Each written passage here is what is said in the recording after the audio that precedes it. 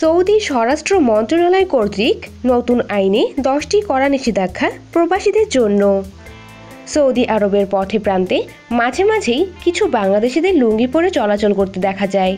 বিদেশের মাটিতে যা খানিকটা দৃষ্টিকটুও বটে। কারণ বাল্য শিক্ষাতেই আমরা পড়েছিলাম জসিন দেশ সদাচার। অর্থাৎ আপনি যখন যে দেশে, যে পরিবেশে থাকবেন, সেই পরিবেশের রীতিনীতি, রেওয়াজ মেনে চলবার চেষ্টা করবেন। এরকম ঘরোয়া পরিবেশে পড়া যে কোনো পোশাকে পরে বাইরে বের হবার বিষয়ে কঠোর আইন করেছে সৌদি আরব। না জেনে যদি কেউ এই আইন এবং নিষেধাজ্ঞা অমান্য করে, তাকে গুনতে হবে কমপক্ষে পাঁচ হাজার রিয়াল জরিমানা। ক্ষেত্র বিশেষে জরিমানার পরিমাণ বেশিও হতে পারে।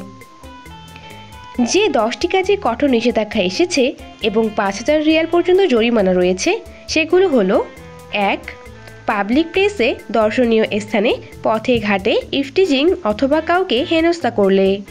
দুই, নারী বা ছোট বাচ্চারা ভয় পায় এমন কোনো কথা বললে বা এমন কোনো কাজ করলে। তিন, গাড়ি চালানোর সময় অথবা রাস্তার সাইডে দাঁড়িয়ে অতিরিক্ত সাউন্ড দিয়ে গান বাজালে।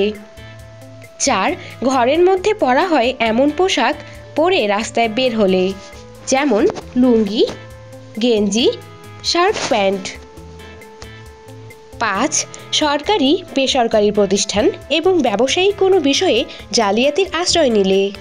ছয়, গোপন ক্যামেরার মাধ্যমে ভিডিও ধারণ করলে এবং তা সামাজিক যোগাযোগ মাধ্যমে ছড়িয়ে দিলে।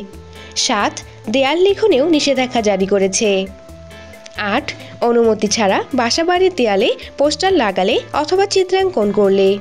নয়, যত্রতত্র সিগারেটের ভগ্নাংশ ছুঁড়ে ফেললে। দশ, অপরিচ্ছন্ন, অপরিষ্কার পোশাক পরে মসজিদে গেলে। শখের বসে অথবা অভ্যাসবশত যারা লুঙ্গি পরে রাস্তায় বের হন, তাদেরকে অবশ্যই এই নিয়মগুলোর প্রতি শ্রদ্ধাশীল হতে হবে। আইন অমান্য করে কেউ লুঙ্গি পরে রাস্তায় বের হলে পুলিশ যে কোনো মুহূর্তে গ্রেফতারের অধিকার রাখে।